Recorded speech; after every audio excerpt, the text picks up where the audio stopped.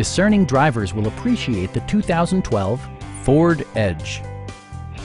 Ford prioritized fit and finish as evidenced by a built-in garage door transmitter, an automatic dimming rear view mirror, heated seats, automatic temperature control, rear parking sensors, and power front seats.